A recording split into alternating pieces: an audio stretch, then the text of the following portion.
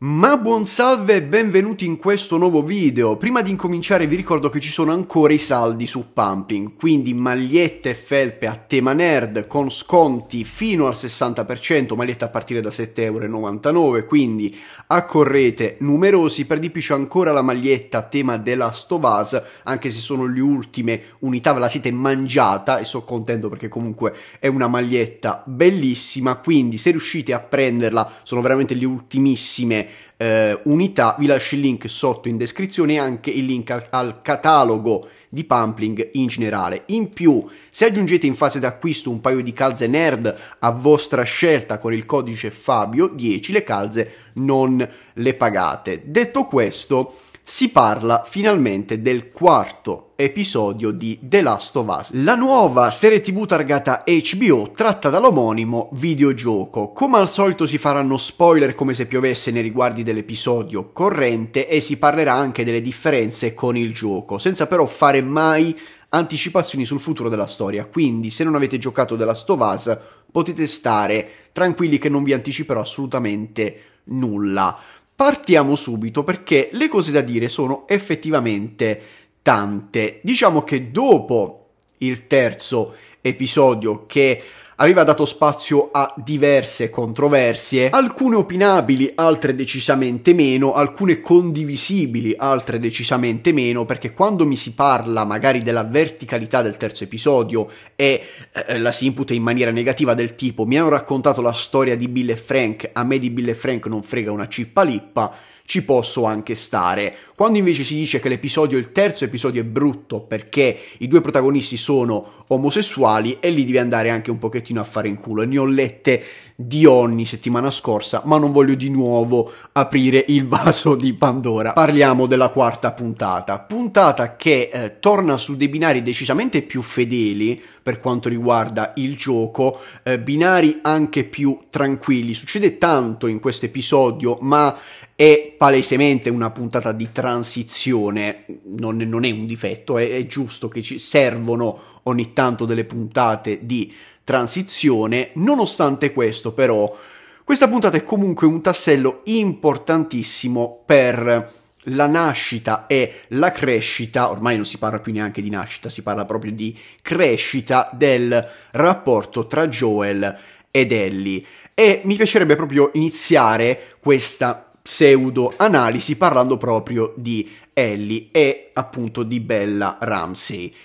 Diciamo che eh, ormai qualsiasi tipo di critica nei confronti di questa attrice per me non, non, valgono assolutamente nulla. Bella Ramsey è bravissima ed è Ellie al 100% in tutto quello che fa. Piccole eh, microespressioni, espressioni invece decisamente più vistose, eh, gestualità. Per me è Ellie fatta e finita e la Ellie di Bella Ramsey è una Ellie estremamente innocente. È ancora una bambina, nonostante comunque l'attrice che la interpreta è eh, una diciannovenne, Ellie invece ha 14 anni e nonostante sia una bambina nata in un mondo schifoso, Ellie non ha mai visto il mondo prima del Cordyceps, è nata in quel mondo eh, terribile, ma nonostante questo è ancora innocente. La vediamo fare battute ogni 3x2, adesso anche sto libro delle barzellette tanto caro ai fan del gioco, ce l'ha anche appunto nel gioco eh, quel libro delle barzellette e quanto mi si è scaldato il cuore a sentirla dire battute veramente di merda, ride per qualsiasi cosa, si sorprende per qualsiasi cosa. Ellie non ha mai visto il mondo e non si è mai interfacciata con delle minacce umane o praticamente eh, quasi mai. Sì, ha avuto delle esperienze con gli infetti, è stata morsa qualche settimana prima, quindi vorrei ben vedere, ma un conto è combattere contro degli infetti che sono sostanzialmente degli animali, sono eh, l'abbiamo visto anche nella precedente puntata quando Ellie interagisce con l'infetto sotto le macerie. Gli infetti non hanno cattiveria, sono puro istinto animale, quindi sì, comunque dei soggetti super pericolosi, ma un conto è combattere contro degli infetti che non hanno il cervello, un conto invece è combattere con degli umani, con i cacciatori che vengono introdotti appunto in questa puntata. Ellie in questo episodio appunto perde un pezzo della sua innocenza quando eh, decide di utilizzare la pistola contro il cacciatore per proteggere Joel. Anche questa pistola che eh, vediamo appunto all'inizio della puntata utilizzare da Ellie come se fosse un giocattolo. Ellie cita indirettamente la, la, scena di Taxi Driver del tipo stai parlando con me, non c'è nessun altro. Insomma, la scena è palesemente quella. Non penso che Ellie abbia mai visto il film con Robert De Niro, però il richiamo era palesemente quello lì. E poi invece la vediamo effettivamente utilizzare realmente quella pistola e nel gioco non va proprio così, mentre qui Ellie appunto ferisce Brian, uno dei cacciatori, e poi è Joel ad ammazzarlo, nel gioco Ellie ammazza il cacciatore per proteggere Joel, gli spara un colpo in testa e tanti cari saluti, tante care cose. Credo di aver capito il perché abbiano deciso di non far uccidere il cacciatore da Ellie già nella quarta puntata. Credo che vogliano ancora preservare l'innocenza di Ellie per robe che vedremo in futuro. Mi mantengo abbastanza vago, ma anche per mostrare ancora di più il lato fragile di Joel. E arriviamo appunto a parlare di Joel. Pedro Pascal mi piace tantissimo, la sua interpretazione è impeccabile. C'è da dire però che il Joel di Pedro Pascal è molto diverso sotto tanti aspetti rispetto alla sua controparte videoludica e non è per forza di cose un male. Hanno deciso di dare un'interpretazione più umana eh, di, di questo personaggio, appunto veramente più fragile e ci sta. Comunque ci, ci fanno capire perfettamente che Joel non è una, proprio una carissima persona. Scopriamo che ha avuto un passato da cacciatore, quindi è stato sia dalla parte dell'innocente che viene appunto braccato dai cacciatori, ma è stato anche lo stesso cacciatore che braccava innocenti e scopriamo anche che ne ha uccisi eh, di innocenti proprio per sopravvivere. Joel è sempre stato un personaggio controverso e mi piace proprio per questo. Non è un buono tipico, non è l'eroe tipico, è comunque una persona abbastanza grigia, ma nella serie è decisamente più umano e fragile. C'è un continuo tentativo, soprattutto in questa puntata, ma anche nelle precedenti, di creare dei muri tra eh, appunto Joel ed Ellie, proprio da parte di, di, di Joel, ma questo continuo tentativo sta sempre di più fallendo miseramente. Joel non riesce a rimanere indifferente di fronte all'innocenza di Ellie. E nel gioco sì, è così, ma non in maniera così spiccata. Joel ce ne vuole di tempo per sbloccarsi. In una scena dice a Ellie che è soltanto merce, non famiglia, ma subito dopo li vediamo ridere insieme. Scene comunque bellissime. Quando nella parte finale eh, della puntata Ellie dice quella bruttissima battuta sulla diarrea a Joel e Joel proprio muore dalle risate. Io stavo morendo insieme a loro, avevo proprio gli occhi a cuoricino, però allo stesso tempo mi rendo conto che il Joel del videogioco non si sarebbe comportato in quella maniera, anche dal punto di vista fisico hanno eh, reso il Joel di Pedro Pascal molto più acciaccato, con le ginocchia distrutte, non riesce a fare le scale, dopo un poco muore, anche quando combatte con i cacciatori fa molta più fatica, è forse un Joel più pippa rispetto alla controparte videoludica, ma ho capito perfettamente il perché hanno fatto questo, perché e qui devono andare, devono correre come dei treni perché hanno soltanto 9 puntate. I tempi del videogioco sono decisamente più dilatati. Nella serie invece c'è tanto spazio per raccontare robe che nel videogioco non puoi minimamente raccontare, ma sotto altri invece punti di vista nella serie devi andare decisamente più veloce. Attenzione però è assolutamente voluto, anche la questione del fidarsi, del lasciarsi andare è stata gestita molto bene. Nella parte iniziale dell'episodio, nel bosco, Joel si tiene stretto il fucile nel pelo, addirittura non riesce a dormire per paura che delle persone possano arrivare nel cuore della notte e attaccarli nel sonno, quindi si alza in piedi, incomincia a guardarsi intorno con il fucile in mano. Nella parte finale invece dell'episodio, quando Joel si rilassa con Ellie, i due incominciano a ridere insieme, Joel si addormenta appunto e viene fregato da, proprio abbassando la guardia, viene fregato da Harry e Sam, che sono questi due nuovi personaggi che sicuramente avranno più spazio nelle prossime puntate e sono anche molto curioso di vedere come li gestiranno questi due nuovi personaggi.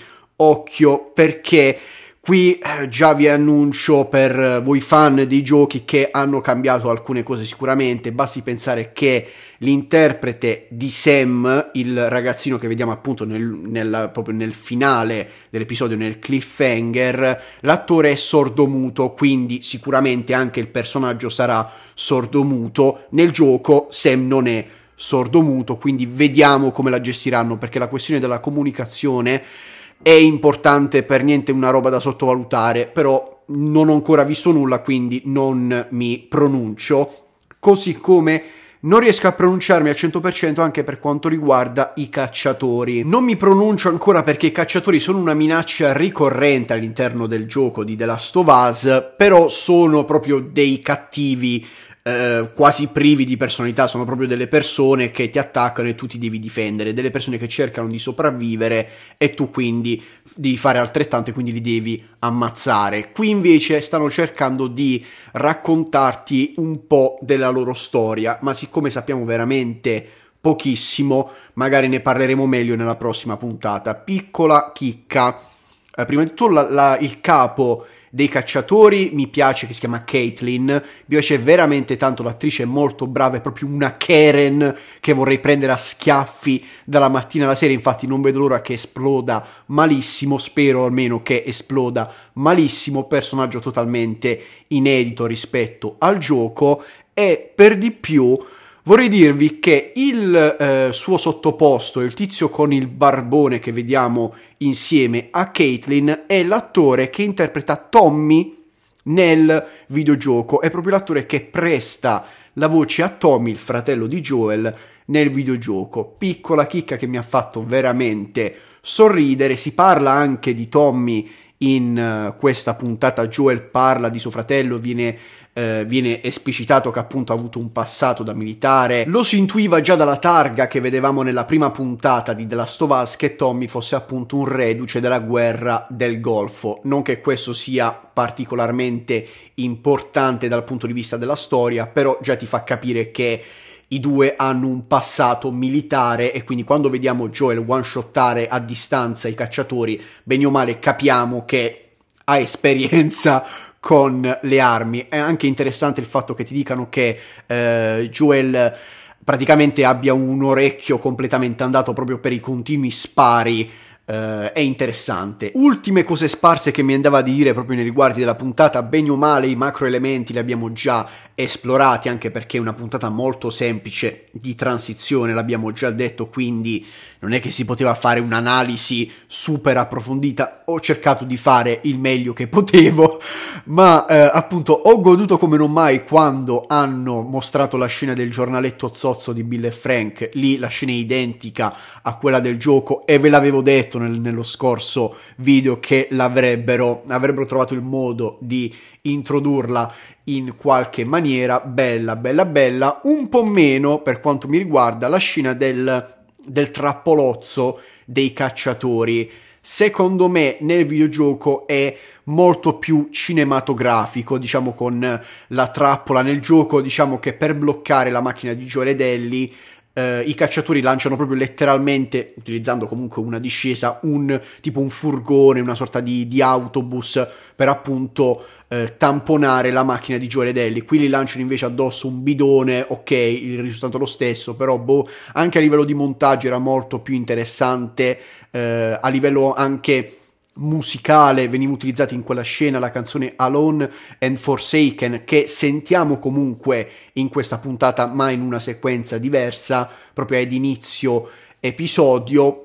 Va bene così mi piace di più l'attacco dei cacciatori nel videogioco ma nulla, assolutamente nulla di grave. Ultima cosa, fate attenzione a quel cavolo di pavimento che si sta sempre di più sgretolando perché c'è qualcosa sotto, proprio nel locale controllato, da, nel, nell'edificio controllato dai cacciatori. Si tratta, e qui mi voglio pronunciare proprio perché è già un elemento eh, che è stato mostrato nei trailer, quindi non, non, lo considero uno spoiler, si tratta molto probabilmente di un bloater che è un'altra eh, versione eh, degli infetti, è un altro tipo di infetto.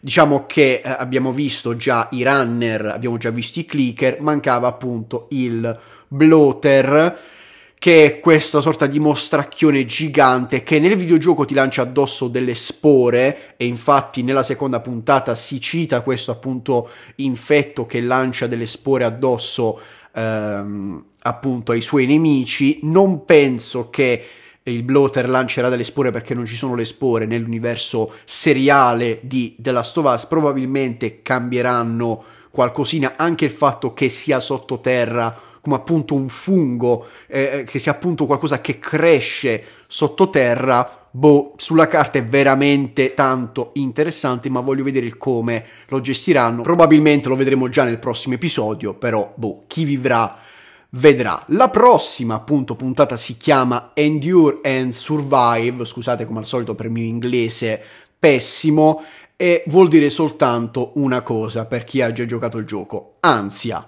Ma detto questo, adesso voglio sapere la vostra. Fatemi sapere qua sotto con un commento se questa quarta puntata di The Last of Us vi è piaciuta, se non vi è piaciuta, sono veramente curioso e noi ci vediamo alla prossima, in generale ci vediamo quando ci vediamo. Ciao a tutti ragazzi!